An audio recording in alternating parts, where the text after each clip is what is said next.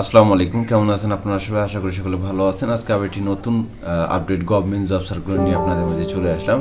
সেটা হচ্ছে মৎস্য ও প্রাণী সম্পদ মন্ত্রণালয়, বাংলাদেশ মৎস্য উন্নয়ন কর্পোরেশনের নিযুক্তি প্রকাশ করা হয়েছে। আর এই নিযুক্তি প্রকাশ করা হয়েছে পঁচিশ এক দুই হাজার একুশ তারিখে।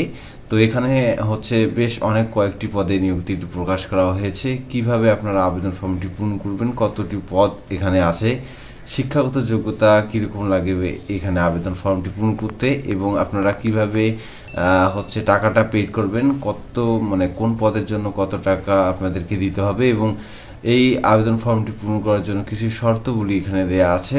সম্পূর্ণ বিষয় নিয়ে আমরা আলোচনা করব। আপনারা সম্পূর্ণ ভিডিওটির সাথেই থাকবেন যাতে করে সম্পূর্ণ যে সার্কুলারটা আমি আপনাদেরকে বুঝাই দিতে পারি এবং এই হচ্ছে ভিডিওর মাধ্যমে আপনারা সম্পূর্ণ সার্কুলারটা বুঝতে পারেন। আর এই সম্পূর্ণ সার্কুলারটা আপনারা পেতে গেলে আপনাদের পাওয়ার জন্য আপনাদেরকে এই ওয়েবসাইটটি ভিজিট করতে হবে। News portal twenty four BD এখানে আপনারা সম্পূর্ণ সার্কুলারটা এখানে পেয়ে যাবেন। এখানে হচ্ছে কীভাবে আবেদন করবেন এবং হচ্ছে আবেদন করার প্রক্রিয়া, আবেদনের শেষ সময়, শুরুর সময় সব কিছু দেওয়া আছে। অনলাইনে আবেদন করার জন্য এখানে অ্যাপ্লাই লিঙ্কটি দেওয়া আছে। এখানে ক্লিক করে আপনার আবেদন ফর্মটি পূরণ করে নেবেন।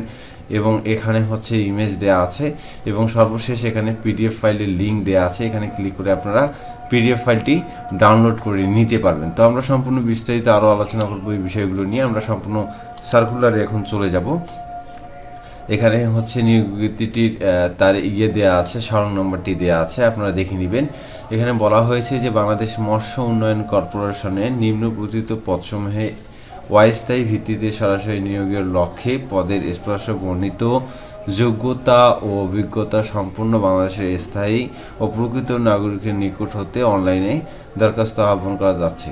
তো আরেকটি বিষয় সেটা হচ্ছে এই যে অস্থায়ী ভিত্তিতে সরকারি যে বিষয়টি, এটা কিন্তু অনেকেই বোঝে না, অনেক অনেকেই মনে করে যে অস্থায়ী ভিত্তিতে। এটা কিন্তু প্রথমে আপনাদেরকে অস্থায়ীভাবে নিয়োগ দেওয়া হয় এবং পরবর্তীতে এটা স্থায়ীকরণ করা হয়। তো এখানে পদের নাম দেয়া আছে, শিক্ষাগত যোগ্যতা দেয়া আছে এবং বেতন স্কেলটাও দেয়া আছে এবং যে সকল জেলাগুলো আবেদন করতে পারবেন সব কিছু এখানে দেয়া আছে। তো প্রথমত আমরা দেখিয়ে নিব পদের নামগুলো। বাজারজাতকরণ অফিসার, এখানে বেতন স্কেলটা দেওয়া আছে বাইশ হাজার থেকে তেপ্পান্ন হাজার ষাট টাকা, পদ সংখ্যা দুইটি। এবং শিক্ষাগত যোগ্যতা এবং অভিজ্ঞতা এখানে দেওয়া আছে। অর্থনীতি, বাণিজ্য ও পরিসংখ্যান বিষয়ে দ্বিতীয় শ্রেণি স্নাতকোত্তর ডিগ্রি। তারপরে দুই নম্বর যে পদটি দেওয়া আছে স্টোর অফিসার এখানে বেতন স্কুলটা হবে বাইশ হাজার থেকে তেপ্পান্ন হাজার ষাট টাকা সংখ্যা একজনের অর্থনীতি, বাণিজ্য ও পরিসংখ্যান বিষয়ে দ্বিতীয় শ্রেণি স্নাতক ডিগ্রি সকল জেলা থেকে কিন্তু এগুলো আবেদন করা যাবে। তিন নম্বর যে পদটি দেওয়া আছে, প্রশাসনিক অফিসার বেতন স্কেলটা হবে বাইশ হাজার বারো হাজার পাঁচশো থেকে তিরিশ হাজার দুইশো তিরিশ টাকা পদ সংখ্যা দুই জনের স্নাতক ডিগ্রি হলে আবেদন করতে পারবেন। চার নম্বর যে পদটি দেওয়া আছে ফিস প্রসেসিং টেকনিশিয়ান এখানে বেতন স্কেলটা হবে বারো হাজার পাঁচশো থেকে বত্রিশ হাজার, তিরিশ হাজার দুইশো তিরিশ টাকা পদ সংখ্যা একজনের। কেমিস্ট্রি বা বায়োলজিকিস্ট বা প্রাণীবিদ্যা বা মৎস্য বিজ্ঞানের স্নাতক ডিগ্রি আপনাদেরকে হতে হবে। পাঁচ নম্বরে যে পদটি দেওয়া আছে, সহকারী বাজারজাতকরণ অফিসার। বেতন স্কেলটা দেওয়া আছে বারো হাজার পাঁচশো থেকে তিরিশ হাজার দুইশো তিরিশ টাকা স্নাতক পাস। ছয় নম্বর যে পদটি দেওয়া আছে, হিসাব রক্ষক বিজনেস কলটা দেওয়া আছে বারো হাজার পাঁচশো থেকে তিরিশ হাজার দুইশো তিরিশ টাকা। এখানে আপনারা বাণিজ্য স্নাতক ডিগ্রি হলে আবেদন করতে পারবেন দুই পদ সংখ্যা দুইজনের। সাত নম্বর যে পদটি দেওয়া আছে সহকারী অডিটর এখানে বেতন স্কেলটা দেওয়া আছে দশ হাজার দুইশো থেকে চব্বিশ হাজার ছয়শো আশি টাকা পদ সংখ্যা একজনের। বাণিজ্যিক স্নাতক ডিগ্রি, তবে অভিজ্ঞতা সম্পন্ন প্রার্থীদের অগ্রগতা দেওয়া হবে। আট নম্বর যে পদটি দেওয়া আছে ফিশ প্রসেসিং সহকারী, এখানে পদ সংখ্যা তিনজনের। এখানে আপনাদের শিক্ষাগত যোগ্যতা দেওয়া আছে, কেমিস্ট্রি, প্রাণী প্রাণীবিদ্যা মৎস্য বিজ্ঞান স্নাতক ডিগ্রি। নয় নম্বর যে পদটি দেওয়া আছে, ড্রাইভার ফেরি বোট এখানে বিজনেস কলটা দেওয়া আছে। নয় হাজার তিনশো থেকে বাইশ হাজার চারশো নব্বই টাকা পদ সংখ্যা দুইজনের অষ্টম শ্রেণি পাশ হলে আপনারা এখানে আবেদন করতে পারবেন। সাথে স্পিড বোর্ড চালানোর অভিজ্ঞতা আপনাদের থাকতে হবে। দশ নম্বর যে পদটি দেওয়া আছে কালেকশন ডেলিভারি সহকারী, এখানে বিজনেস স্কুলটা নয় হাজার তিনশো থেকে বাইশ হাজার চারশো নব্বই টাকা সংখ্যা পাঁচজনের উচ্চ মাধ্যমিক সার্টিফিকেট সহ দুই বছরের বাস্তব অভিজ্ঞতা আপনাদেরকে লাগবে। এবং এগারো নম্বর যে পদটি দেওয়া আছে বাজেট সহকারী, এখানে বিজনেস কলটা হবে নয় হাজার তিনশো থেকে বাইশ হাজার চারশো নব্বই টাকা পদ সংখ্যা দুইজনের বাণিজ্য, উচ্চ মাধ্যমিক, স্কুল সার্টিফিকেট, তবে অভিজ্ঞতা সম্পন্ন প্রার্থীকে অগ্রাধিকার দেওয়া হবে। বারো নম্বর যে পদটি, বিল সহকারী, এখানে পদ সংখ্যা একজনের। এখানে আপনারা শুধুমাত্র উচ্চ মাধ্যমিকে বাণিজ্যে যারা আছেন, তারা এখানে আবেদন ফর্মটি পূরণ করতে পারবেন। সংক্ষিপ্ত আকারে একটু জানাচ্ছি, সহকারী নিরাপত্তা পরিদর্শক পদ সংখ্যা দুইজনের। সেনা বা নৌ বাহিনী নায়ক বা হচ্ছে সমমানের প্রাপ্ত সদস্য হলে আবেদন করতে পারবেন।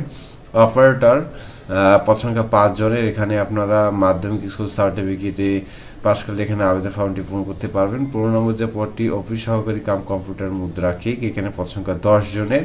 উচ্চ মাধ্যমিক সার্টিফিকেট এবং হচ্ছে প্রতি মিনিটে শব্দের গতি বলতে গেলে আপনাদের কম্পিউটার চালানোর অভিজ্ঞতা অবশ্যই থাকতে হবে। ষোলো নম্বর পদটি দেওয়া আছে অফিস সহকারী সহায়ক এল এল এস এস। এখানে পদ সংখ্যা তিন জনের, অষ্টম শ্রেণি পাশে আবেদন করতে পারছেন। সতেরো নম্বর যে পদটি গার্ব এখানে পদ সংখ্যা একুশ জনের অষ্টম শ্রেণির পাশে এখানে আবেদন ফর্ম পূরণ করতে পারবেন। সাত থেকে সতেরো নাম পদের জন্য যারা হচ্ছে আবেদন করতে পারবেন না, তারা হচ্ছে নেত্রকোনা, চাঁদপুর, রাঙ্গামাটি, মাগুরা, বরিশাল ঝালকাঠি বগুড়া পটুয়াখালী জেলার প্রার্থীগণ আবেদন করতে পারবেন না। তবে তিন শারীরিক প্রতিবন্ধী যারা আছেন, তারা আবেদন করতে পারবেন। কিছু নির্দেশনা আপনাদেরকে মানতে হবে। তো এই বিষয়গুলো আপনারা একটু জেনে নেন। এখানে দেয়া আছে যে পঁচিশ মার্চ দু হাজার বিশ তারিখে তেরো নং ক্রমিক পদ অনুযায়ী পদের সাধারণ বয়স আঠারো থেকে তিরিশ বছর হতে হবে। তো আপনাদের যে বয়স সীমাটা, সেটা পঁচিশে মার্চ দুই হাজার বিশে হিসাব করতে হবে। হিসাব করে আপনার আঠারো থেকে তিরিশ বছর হতে হবে এবং হচ্ছে শহীদ মুক্তিযোদ্ধা বা প্রতিবন্ধী এবং হচ্ছে, যারা মুক্তিযুদ্ধের সন্তান যারা আছেন, তাদের জন্য আঠারো থেকে বত্রিশ বছর। এবং যারা সরকারি বা আধা সরকারি প্রতিষ্ঠানে কাজ করেন, তারা অবশ্যই কর্তৃপক্ষের মধ্যে আবেদন ফর্মটি পূরণ করে নেবেন।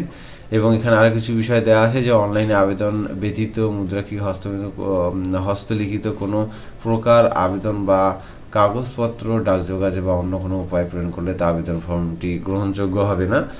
এবং আপনাদেরকে পরীক্ষা সংক্রান্ত তথ্যবলী বাংলাদেশ মৎস্য উন্নয়ন কর্পোরেশনের ওয়েবসাইটে আপনারা পেয়ে যাবেন। আরেকটি বিষয় এখানে দেওয়া আছে যে মৌখিক পরীক্ষার সময় হচ্ছে প্রার্থী নিম্নবর্তিত কাগজপত্র বা মূল কপি প্রদর্শন করতে হবে। সেটা হচ্ছে এক কপি একটি কপি সত্যায়িত ফটোকপি আপনাদের দাখিল করতে হবে। যে কাগজপাতিগুলো লাগবে সব কিছু এখানে দেওয়া আছে। আমি এই বিষয় নিয়ে এখন আপনাদের সাথে আলোচনা করব, যাতে করে আপনার পরীক্ষা দেওয়ার সময় এই কাগজপাতিগুলো নিয়ে যান। প্রার্থীর সকল শিক্ষাগত যোগ্যতা ও অভিজ্ঞতা সনদপত্র নিয়ে যেতে হবে। প্রার্থী যে ইউনিয়ন বা পরিষদের বা বাসিন্দা সে ইউনিয়ন পরিষদের চেয়ারম্যান বা পৌরসভা মেয়র, কাউন্সিল কর্তৃপক্ষ নাগরিকত্বের সনদপত্র লাগবে। ইউনিয়ন পরিষদের চেয়ারম্যান পরিষেবা মেয়র, কর্পোরেশন ওয়ার্ডের প্রথম গ্রেজেট কর্তৃপক্ষ চারিত্রিক সনদপত্রটা আপনাদের লাগবে। জাতীয় পরিচয়পত্র বা সনদপত্র লাগবে আর মুক্তিযোদ্ধা যারা আছেন বা অন্যান্য যারা কোটায় আছেন, তারা অবশ্যই সেই কোটার সনদপত্র নিয়ে যাবেন। এটিএম প্রতিবন্ধীর ক্ষেত্রে একই জিনিস দেওয়া আছে এবং আনসার গ্রাম প্রতিরক্ষা বাহিনী তাদেরও একটা দেয়া আছে সার্টিফিকেট সার অবশ্যই এগুলো নিয়ে যাবেন। এবং অনলাইনে পূরণকৃত আবেদন কপি যেটাকে বলা হয় অ্যাপ্লিকেশন কপি ওটা কিন্তু অবশ্যই আপনাদেরকে নিয়ে যেতে হবে। এবং ক্রমিক নয় পদের প্রার্থীদের ক্ষেত্রে ড্রাইভিং লাইসেন্স এবং অভিজ্ঞতা সনদপত্র কিন্তু আপনাদেরকে নিয়ে যেতে হবে। এবং ক্রমিক পনেরো প্রার্থীদের কম্পিউটার প্রশিক্ষণের সনদপত্র অবশ্যই কিন্তু আপনাদেরকে লাগবে। তো আমরা এখন চলে যাব আরও একটু বিস্তারিত অবস্থায়, সেটা হচ্ছে যে কীভাবে আপনারা এই আবেদন ফর্মটি পূরণ করবেন এবং আবেদন ফর্মটি শুরু এবং শেষের সময়টা একটু আপনাদেরকে জানাই দিই। সেটা হচ্ছে, এখানে দেওয়া আছে যে একই ফেব্রুয়ারি দুই হাজার একুশ খ্রিস্টাব্দ সকাল দশটা থেকে এই আবেদন ফর্মটি পূরণ করা যাবে এবং এই আবেদন ফর্মটি পূরণের লাস্ট ডেট হচ্ছে পঁচিশ ফেব্রুয়ারি দুই হাজার একুশ তারিখ বিকাল পাঁচটা পর্যন্ত এই আবেদন ফর্মটি পূরণ করা যাবে এবং আবেদন ফর্মটি পূরণ করার বাহাত্তর ঘণ্টার মধ্যে কিন্তু আপনাদের টাকাটা পেড করে দিতে হবে। যদি টাকাটা পেড না করেন তাহলে আপনারা কিন্তু আবেদন ফর্মটি বাতিল বলে গণ্য করা হবে। এবং হচ্ছে এই আবেদন ফর্মটি পূরণ করার জন্য যে আপনাদের টাকাটা লাগবে সেটা আপনাদের একটু জানাই দিই। সেটা হচ্ছে এক থেকে ছয় নং পদের জন্য হচ্ছে পাঁচশো টাকা করে লাগবে এবং চারশো ষাট টাকা মানে ষাট টাকা সব, সর্বমোট পাঁচশো ষাট টাকা করে এক থেকে পাঁচ নং পদের জন্য এবং সাত থেকে সতেরো নং পদের জন্য ফি বাবদ আপনাদেরকে হচ্ছে চারশত টাকা এবং আটচল্লিশ টাকা আপনাদের চার্জ সহ চারশো আটচল্লিশ টাকা করে আপনাদেরকে প্রতিটি পদের জন্য দিতে হবে এবং এই টাকাটা হচ্ছে বাহাত্তর ঘণ্টার মাধ্যমে টেলিটেক চার্জের মাধ্যমে আপনাদেরকে পাঠিয়ে দিতে হবে আবেদন করার পর এবং এস এম এসের পদ্ধতিটা এখানে দেওয়া আছে। এস এম এস পদ্ধতির মাধ্যমে আপনারা এই টাকাটা পেড করবেন। এবং এখানে হচ্ছে আপনারা যদি চান তাদের সঙ্গে যোগাযোগ করতে পারেন, এখানে ইমেল অ্যাড্রেস দেওয়া আছে। তো আমি এখন আপনাদেরকে দেখাবো কীভাবে আপনারা অনলাইনে আবেদন ফর্মটি পূরণ করবেন। তো এর আগে আমি আপনাদেরকে জানিয়ে দিয়েছি যে সম্পূর্ণ সার্কুলারটি পাওয়ার জন্য অবশ্যই ওয়েবসাইটটি ভিজিট করতে পারেন। এই ওয়েবসাইটের লিঙ্ক আমি video description box first comment অবশ্যই দিয়ে দেবো। ওখান থেকে আপনারা ভিজিট করে দেখে নেবেন।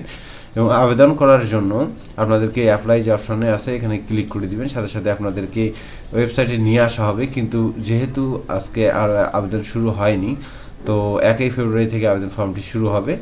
তো সেহেতু আমি আপনাদেরকে দেখাইতে পারতেছি না, তো সিম্পলি আপনারা এখানে ক্লিক করে আবেদন ফর্মটি পূরণ করে নিতে পারবেন।